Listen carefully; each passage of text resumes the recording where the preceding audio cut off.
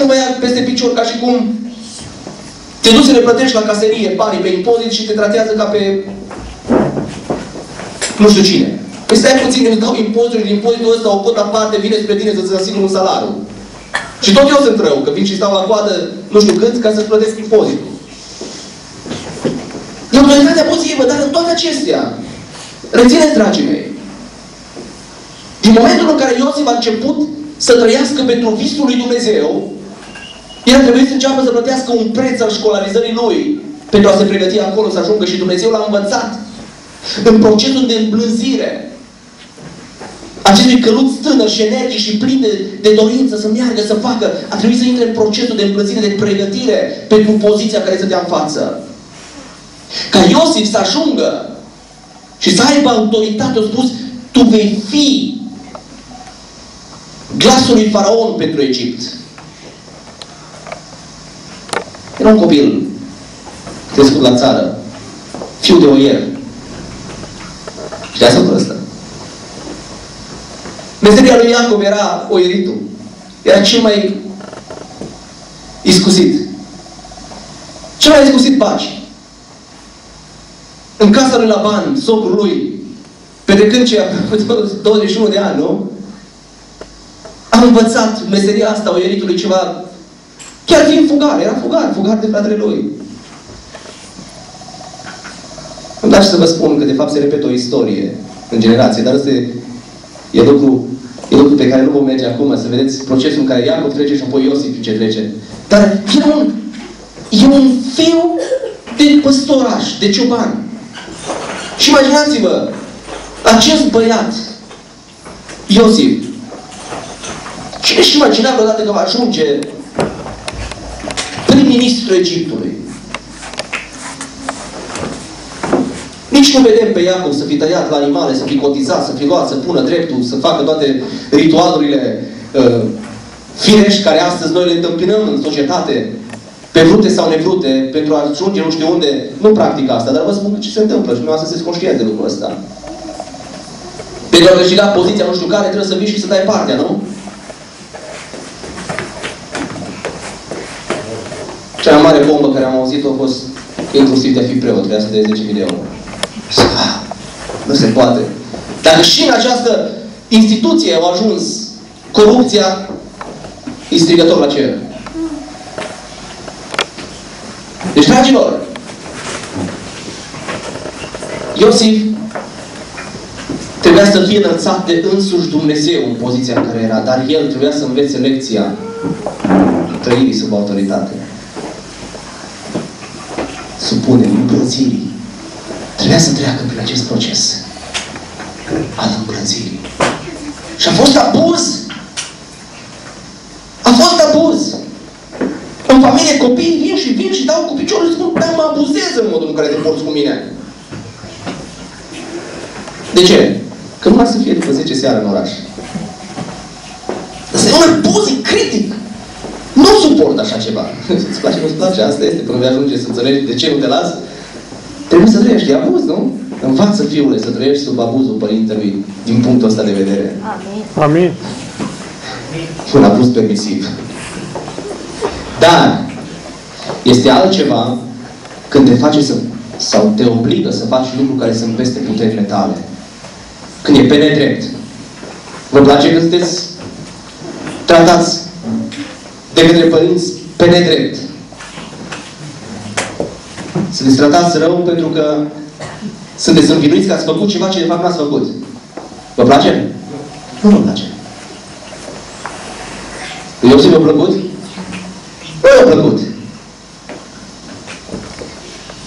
Nu v-a plăcut. A fost vândut de frații lui pe nedrept. E de, sunteți de acord? A ajuns în pușcărie, a ajuns în temniță pe nedrept. Puteau să strige după el pușcăriașul nedrept. S-a manifestat autoritatea peste el pe nedrept. Dar îmi place foarte mult să văd faptul că Iosif, chiar și în momentul în care a fost abuzat, o fi scrâșnit el din dinți, o fi povestit cu unul cu altul, că e abuzat de modul în care se procedează cu el. Dar îmi place finalul lui Iosif. Iosif nici măcar nu vine să reproșeze fraților lui când se întâlnesc împreună. Nu vine să reproșeze, păi, din cauza voastră mi s-au întâmplat toate ăștia. Voi știți ce am trăit eu 13 ani de zile? Voi știți calvarul pe care eu l-am suferit? Voi vă dați seama câți neuroni au murit din mine? Eu o să ajung fără minți, eu o să ajung... Ați făcut ceva pe nedrept. Nu s-a dus la, la soția lui Potifar și spune, băi, fii atent acum, tu știi ce am ajuns eu. Tu știi ce am ajuns eu? Sunt prim-ministru Egiptului, ești la degetul meu mic. Ai să plătești pentru toată treaba asta. Îl mai ținut în pușcărie. Nu descoperim asta. Nu descoperim să fi, să, să fi abordat pe faraon în momentul în care a venit faraon disperat. Am nevoie de cineva care să întâlmăcească visul ăsta. He, vreau să-mi dai înapoi bani grei pentru faptul că m-ai pedepsit pe nedrept.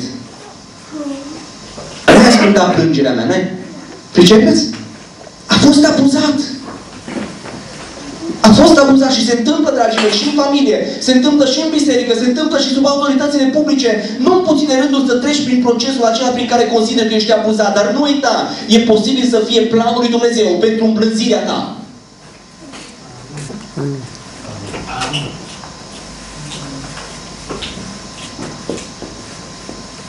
Dumnezeu are un scop măreț cu viața fiecăruia, dragilor. Dar noi nu putem să atingem scopurile lui Dumnezeu până nu suntem formați de Dumnezeu pentru lucrarea care stă în față. Spre nefericirea unora vreau să vă spun că de multe ori Dumnezeu te antrenează 50 de ani ca să te folosească o oră. Sau poate să te formeze o viață întreagă și să-și lefuiască și răbdarea ta față de a trăi sub autoritate abuzivă să fie glasul care să vorbească pentru generații care vin din urmă. Să fii modelul. Pentru că mulți spun, nu suport. El a suportat, tot omul a fost. Când te învățișa în fața lui Dumnezeu să spui, Doamne, n-am suportat.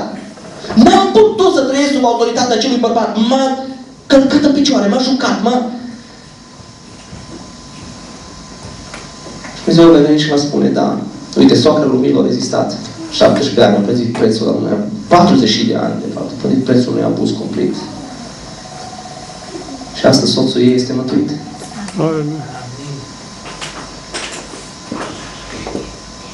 Pentru cine plătești prețul contează mult. Și dacă știi că Dumnezeu își cere lucrul acesta și plătește acel preț pentru gloria Lui, Asta înseamnă să fii gata să trăiești sub autoritate, pentru că Dumnezeu doar acolo vrea să te binecuvânte, când tu trăiești sub autoritate. Tu pierzi binecuvântările Lui Dumnezeu când ai, când ai ieșit de sub autoritate, de sub autoritatea familiei, de sub autoritatea bisericii, ignori autoritățile publice, vei ajunge să plătești prețul. Trăirea sub autoritate aduce binecuvântare. Amin. Cel mai mulți oameni, repet, nu le place să trăiască sub autoritate, pentru că nici lui Lucifer nu i-a plăcut. Nu i-a plăcut să trăiască sub autoritate. El a vrut să fie egal sau mai mare decât autoritatea care era peste el. Sunt astfel de simptome în jurul nostru. Vine vremea când copiii încearcă să-și măsoare puterile cu părinții. Spun, care e problema? N-ai văzut că a crescut? Mama încearcă să-și manifeste autoritatea asupra copilului și copilul o prinde de mână și joacă hora cu ea. Zice, hai, dai! Hai, dai acum, poți? Uite puterea mea! Vezi cine sunt, da? Cunoașteți, băieții? Cunoașteți. Și Milo practicat asta. Nu cunoșteam pe Domnul. Da, mama, bine, nu m-am dat în, în mama mea niciodată. Dar dacă veneam cu goala de la mătură, o prindeam de coada măturii și jucam cu ea. Și ziceam, hai mamă, dă-i! dă dacă poți! Ea are dreptate. Pentru că eu veneam la 5 dimineața acasă. Și avem perfectă dreptate, dar eu vreau să-i arăt că sunt bărbat deja, la 13 ani. De asta fiul meu mă copiază. Dar asta este partea prin care vreau să, vreau să înțelegem, dragilor. Trăirea sub autoritate aduce binecuvântare. Mama știa că vrea binele meu, nu vrea nelocirea mea. În biserică, dragilor, aici suntem o familie. Dar în biserică există autoritate lăsată de Dumnezeu.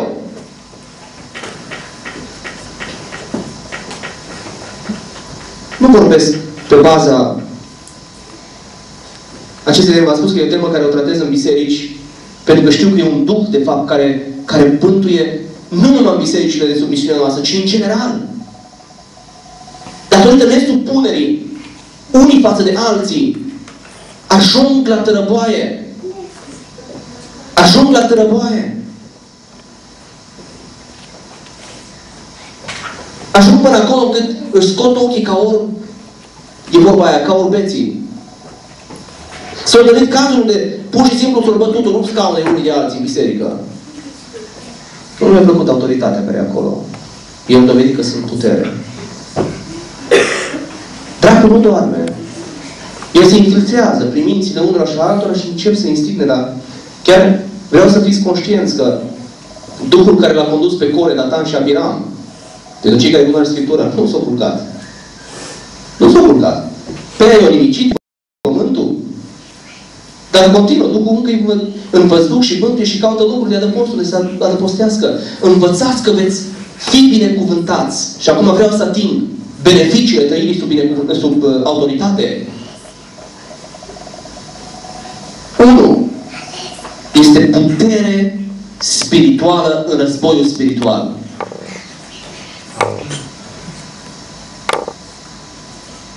De ce sunt mulți neputincioși? De ce sunt mulți care dorm pe calea asta? De ce sunt mulți înfrânți? De ce sunt mulți care eșuează? Verificați-le poziția față de autoritate. Poziția față de autoritatea în familie se leagă. Toate trei sunt, sunt dependente una de alta. Sunt așezate de Dumnezeu. Poziția față de autoritatea în biserică. Poziția față de autoritatea în stat. Păi să supuși lui Dumnezeu. Ce v-am învățat. Ca să dovedești că ești supus lui Dumnezeu, Dumnezeu își cere să dovedești mai întâi pe orizontală. Exact cum spune, cum spui tu că iubești pe Dumnezeu și pe fratele care lângă tine îl urăști? Pe cel ce nu-l vezi cu ochiul, spui că iubești. Dar pe cel ce vezi înainte ochilor tăi urăști. Este această dragoste? Nu este. De aceea au legat Domnul, inclusiv porunca, porunca dragostei, a legat-o să iubești pe Domnul Dumnezeu tău și pe... Este o continuitate și pe aproapele tău ca pe tine însuți. Nu s-a oprit numai să iubești pe Domnul Dumnezeu tău. Nu. A făcut pasul ăla mai mare. Au spus, dacă vrei să spui că mă iubești pe mine, dovedește prin a iubi creația. Omul e creat de mâna mea. Nu spun să iubești faptele lui. Dacă faptele nu sunt în voia lui Dumnezeu, nu sunt în cuvântul lui Dumnezeu, nici Dumnezeu nu cere lucrul ăsta. Dar iubește sufletul lui. Iubește-L pe El ca persoană. Pentru că dragostea este legătura de săvârșire. Ne reîntoarcem la autoritate. Noi avem autoritate în războiul spiritual când trăim sub autoritate. Vrei să ai o viață de biruință? Vreți lucrul ăsta, dragilor? Da. Vrem lucrul acesta, vrem o viață de biruință, vrem o viață care să ne poarte pe acele nivele ale, ale învingătorilor. Însă nu uitați că diavolul va fi preocupat să te deruteze de la a rămâne sub autoritate. Tu în momentul în care trăiești sub autoritate, ești sub acoperire, ești sub, sub un adăpost. Poți să tune, poți să fulgere, poți să, să deie grindină, poți să... Tu ești sub autoritate, poți să crească nivelele apei cât ar crește. Tu ești în corabie. Ești sub autoritate avea putere în războiul spiritual. Diavolul niciodată nu va avea succes în viața oamenilor care se supun sub autoritate. Care trăiesc sub autoritate. M-am reținut, dragilor? Va veni să te intimideze. Pentru că e meseria lui. Dar nu va avea succes în tine, pentru că tu ești la dăpost.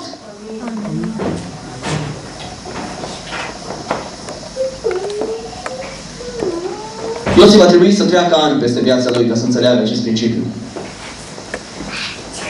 Dar ne-l aduce în evidență. În momentul în care spune, hei, nu voi sunteți vina tuturor lucrurilor prin care am trecut. Și Dumnezeu a avut un plan măreț cu viața mea.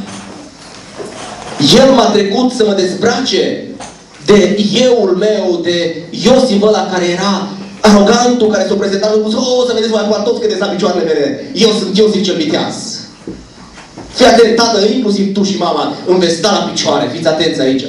E ceva ce numai Dumnezeu mă înalță. Și tu știi, tată, pentru că eu sunt copil al, al lui Dumnezeu, sunt din poporul Israel, favorit al lui Dumnezeu. A fost învățat cu termenul favorit. Era favoritul tatălui. Atenție, părinților care vă dezmierdați prea mult copiii. Lăsați să confrunte viața în așa fel să fie pregătiți pentru viață. Dacă nu, va fi procesul dureros.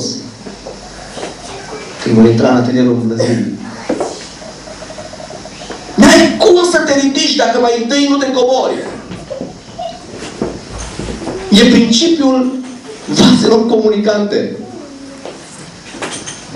Ridicarea noastră în Domnul înseamnă când știm să ne coborâm, în care ne smerim. De aia spune Domnul, El înalță pe cine? Pe cei smeriți, pe cel ce se smerește. Dumnezeu îl înalță în autoritate. Și acum vei spune, oh, înseamnă că îl pune păstor? Stați ușor, dragilor, poziția asta nu este atât de confortabilă. Asta e, asta e o poziție plină de responsabilitate, să plătești un preț enorm să stai în fața oamenilor. Dar e o chemare divină care vine peste viața noastră și atunci trebuie să lucrăm în chemarea asta, că e, e responsabilitatea mea în primul rând față de ceea ce El m-a chemat să fiu. Dar nu e zona confortabilă în care stau toți și aplaudă în jurul tău. Nu. E un preț. Dar trăirea sub autoritate te va înălța din punct de vedere al puterii spirituale. Va face din tine un titan. Respectă-ți autoritatea în familie. Respectă autoritatea în biserică. Respectă autoritatea în viața publică. Pentru că e principiul lui Dumnezeu. În felul acesta semnezi că ești supus lui Dumnezeu.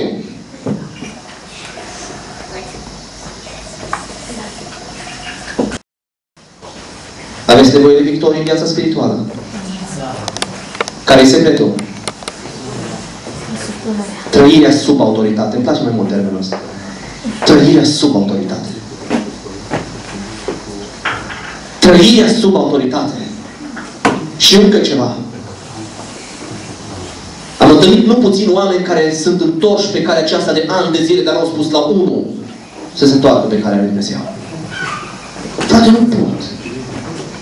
Nu, nu pot. N-am ce să le spun. N-am, n-am rod după ei. N-am pe nimeni care vine după ei. Să spun, asta este rodul care l-a câștigat. Și în ziua aceea tatăl să spună, bine venit. Ia-ți răsplată pentru rodul, rodul care ai. Frate, n-am cuvinte, eu n-am oratorie, n-am... Cuvintele clocotesc înăuntrul tău când tu ești omul care îl iubești pe Domnul și nu pot, David spune că nu pot să, nu pot să păstrez pentru mine, ci sunt cel care mă duc și povestesc cui? La toată lumea. Pe toți aș vrea să-i ajut să înțeleagă dragostea Domnului. Se pune în pasiune din aceea pornită, dați-mi voi să folosesc cuvântul în ghilimele, nebunească. E o stare continuă, mă arde, mă clocotește. Nu pot să stau. Îl prind pe Florin, îl prind pe Gheorghescu, îl prind... Omule! Uite, asta e calea mântuirii. Uite ce a făcut Domnul pentru mine. Poate face și pentru tine. E darul lui Dumnezeu. De ce n-ai autoritate în cuvânt? De ce colegii tăi la școală nu știu umblarea ta cu Domnul? De ce colegii de la serviciu nu știu umblarea ta cu Domnul? De ce vecinii? De ce neamul? De ce? Tu nu trăiești sub autoritate și n-ai ușă de cuvânt. Trăirea sub autoritate te dezleagă să comunici. Cuvântul lui Dumnezeu. Da, vei comunica bazaconii, prostii. Nu vei clădi, vei derâma. Vei destabiliza. Pentru că diavolul asta e ocupat. El destabilizează, destabilizează relații, destabilizează familii, destabilizează biserici, destabilizează guverne, destabilizează... E partea prin care nu e preocupat să construiască stabilitate. Tu, ca om al lui Dumnezeu, trăind sub autoritate, vei aduce binecuvântare cerească în umblarea ta și visul lui Dumnezeu se va împlini în tine. Dumnezeu e preocupat să lase binecuvântare cerească, dragii mei. Nu-i pare rău deloc, pentru că toată averea pe care o are pentru noi. Toată averea. Nu, e, e mai, mai presus de orice părinte care la rândul lui și el spune, păi ce, am și eu copii, trebuie să fac pentru ei. Dumnezeu e mai presus de toate acestea. Spune, împărăția o dă cu drag fiilor și fiicilor noi. Pentru a avea o viață de, o viață de biruință. Pentru ca lucrările Lui Dumnezeu să se împlinească în tine și prin tine. Secretul pe care îl învățăm în această dimineață este să trăiești sub autoritate. Amin. Când, doar atunci când ea se manifestă așa, în modul plăcut și de perie și... Iosif este exemplu acestei dimineți în care spune chiar și atunci când ești abuzat. Lasă dreptatea lui Dumnezeu să iasă la idealul la vremea ei. Asta este punctul înalt, este statura înaltă a omului care trăiește sub autoritate. Care știe să reziste, știe să trăiască, știe să se odihnească în Domnul. Chiar și atunci când este abuz și caută să înțeleagă, Doamne, care este lucrul? Care este, care este în punctul în care vrei să mă îmbrățești?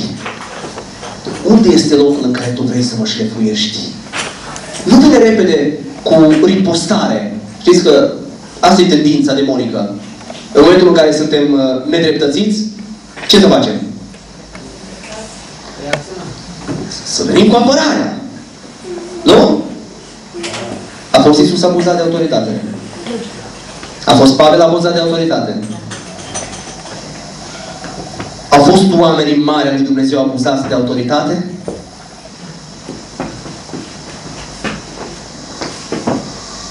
Dacă priviți în dreptul lui Moise a fost abuzat de autoritatea Egiptului. Dacă priviți în viața lui Isaia, a fost abuzat de autoritate. Autoritate care era în poporul Israel. Ei l-au ucis stăindu în două cu ferăstrău. Nu să te gândești pe el, ce repede. În două cu ferăstrău. Fără să scurs tot din el și prorocul Domnului, care a vestit adevărul, a fost decapitat de frații lui de neam. Pavel a fost omul care a fost abuzat și de autoritate bisericească și de autoritate publică. Arătați-mi pe Pavel că s-a plâns. Și s-a tânguit și a început să vorbească împotriva autorității. Și ce făcea Pavel? Fiți-le supuși. Îi învăța. Fiți-le supuși, pentru că nu vin de la ei. Ăștia spuși de Dumnezeu. Fiți-le supuși. Ah! Cum să fii supus celui care te joacă în picioare, cel care te biciuie pe nedrept, celul ce, ce te aruncă în temniță, cel... E dovada omului lui Dumnezeu care lasă urme bune în jurul lui. Iisus Hristos a fost pe nedrept, inclusiv condamnarea a fost pe nedrept. Este așa. Pilat s-a spălat pe mâini și a spus, eu sunt dezvinovățit. Faceți ce vreți cu el. În felul ăsta, nu, au abuzat. Era pus în autoritate unde putea să spună foarte clar. Sunt cel care pot să hotărăsc. Sunt pus de de cel care era peste, peste el, ajutați-mă cu termenul, care era peste, peste Pilat. Cezar. Cezarul a spus lucrul ăsta, pot, pot să fac pot să fac ce vreau. Dar nu. Îmi place foarte mult atitudinea lui Iisus. Ce ai de făcut? Fă. Eu rămân sub autoritate. Nici măcar nu chem să vină regiunile de îngeri și să vină să facă repede, să-i ucidă, pac, pac, foc din cer. Nu. Am o misiune de dus la împlinire și sunt gata cu prețul vieții să rămân sub această autoritate pentru a împlini misiunea. Dacă ăsta e modul prin care trebuie să plătesc, voi merge mai departe. Asta e statura omului înalt, care se smerește și Dumnezeu îl înalță. Nu mai fost cineva înălțat, cum Hristos a fost, a fost înălțat de Dumnezeu. Pentru că a dat dovadă de ascultare până unde? Până acum. Și încă ce moarte? Nu din aia în care A dormit în pace și s-a dus la locul de odihnă și de viață. Și în schimb a trăit rebel. O statură înaltă a unui om supus. Părinții mei, anul 2011 vreau să vă prindă sub această stare a oamenilor care construiți. Și ascultați-mă bine, dragilor. Dacă nu veți fi gata să vă coborâți și să-i, să intrați sub autoritate, Dumnezeu vă va ferici prin îmblânzire. Va fi atelierul lui Dumnezeu deschis pentru voi sau pentru noi? Pentru că El te înalță după ce te îmblânzește. După ce din căluțul nărăvaș devii acel căluț, eu am mai spus în predicile mele despre erau doi cai care până la vârsta asta mi-au rămas așa în minte. Era Arman și Banat. Doi cai puternici. Haideți să vă spun secretul de ce mi-au rămas mie în minte. Eram copil la CAP, mă duceam și eu să fac norme, să câștig și eu câte un bănuț. Și cel care răspundea de cai avea încredere să-mi deie acest cal, să mă duc cu el să transport și aduceau de prin livezi, prun, prune, mere și așa mai departe, cum le aduceam. Și vreau să vă spun că mi-aduc aminte de o situație interesantă unde aproape, undeva aproape de colțul casei mele părintești, unde din greutatea care era acolo, în căruță, a fost pentru prima dată când am văzut un cal în genunchind și să nu mă lase. Doar atât trebuia. Ăsta era semnalul. Arma nu mă lăsa. În genunchiar. Și pe genunchi m-a scos până în culme la drumul care era drept. Era un cal îmblânzit. Răspundea repede când îi spuneai semnalul. Și mai era unul banat, era cal de banat din ăla, cu copite mari. Pe vremea aceea, valora cât o dace nouă. Și acel cal, mi-aduc aminte, pentru prima dată în viață am văzut un cal trăgând o remorcă. De asta de mare, care se pune după tractor, plină cu porumb, pentru că s-a răsturnat un tractor și nu au avut altă soluție în momentul acela decât să, să tragă cu acel cal și stăpânul a spus, calul meu este în stare.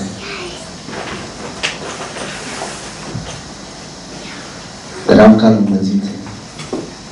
Vei face lucruri mari. Sau Dumnezeu va împlini lucrări mari prin tine. După ce ești împlânzit și înveți să trăiești sub autoritate. Autoritatea se împarte Haideți să le numerăm. Prima. Nu puțin mai mult cor. Familie și autoritatea publică. Familie, biserică și autoritate publică. Iosif a fost înălțat și a fost pus în poziție. După ce a învățat să trăiască sub aceste trei, a fost învățat în poziție care, mă repet, un copil simplu, fiu de baci, nu ajunge acolo. Doar dacă Dumnezeu a avut planul a ajuns acolo. Asta este lucrul glorios pe care îl, îl citim. Care sunt beneficiile trăi sub, bine, sub autoritate. Acoperire spirituală. Autoritate spirituală în războiul spiritual. Putere spirituală în războiul spiritual, da? Deci ai putere spirituală. Și un om care vei învinge, vei stăpâni peste forțele întunericului. Puterea în rugăciune. Vei lega, vei dezlega, e tot legată, este, este soră cu prima, dar e partea prin care rugăciunea ta vei simți că se înalță și se duce. Se duce spre țintă, atinge. Vei avea autoritate în cuvânt. Cuvântul lui Dumnezeu care va ieși de pe buzele tale va așeza ordine în jurul tău. și vei aduce binecuvântare peste viața ta pentru împlinirea țelului pe care Dumnezeu îl are cu tine. Doamne, ajută-ne să trăim sub autoritate. Și știm că este plăcerea Ta pentru acest lucru, Doamne. De aceea, în această dimineață, în acest loc, Doamne Dumnezeule, orice gând care se ridică împotriva cunoștinței voii Tale, îl facem rob ascultării de timp, Doamne. Și mă rog, Dumnezeule scump, ca autoritatea să fie respectată în familie, autoritatea să fie respectată în biserică, autoritatea să fie respectată în viața publică, Doamne. Mă rog, Dumnezeule scump, ca Biserica Râul Vieții să se înalțe în această statură. Doamne, să se dovedească trăirea sub autoritatea Ta, prin respectarea autorității pe orizontală, Doamne. Rostesc aceste lucruri să se împlinească în dreptul fiecăruia, Doamne. Copii, tineri, Doamne, și fiecare adult care este prezent în acest loc să experimenteze această statură înaltă a trăirii sub autoritate și apoi autoritatea să se manifeste Dumnezeule prin ei în, în jurul lor, Doamne, în rugăciune, în viața spirituală, în propovăduirea cuvântului Tău, Doamne, și în aducerea binecuvântărilor cerești peste ei. Să fie beneficiile sub care ei să se adăpostească, Doamne. În numele Lui Iisus Hristos rostesc acestea și îți mulțumesc că Tu le împlinești mai mult decât am cerut sau gândit noi. Te slăvim pentru această dimineață, Doamne, și îți mulțumim pentru că bunătatea și dragostea Ta, Doamne, sunt cele care continuă să se reverse peste noi. Și Tu, Doamne, ne cizelezi, ne formezi să creștem în asemănare cu Fiul Tău, Iisus Hristos, Doamne. În purtare, în atitudine, în acțiuni, Doamne. Al Tău nume să fie cinstit în veci de veci. Amin. Amin. Amin.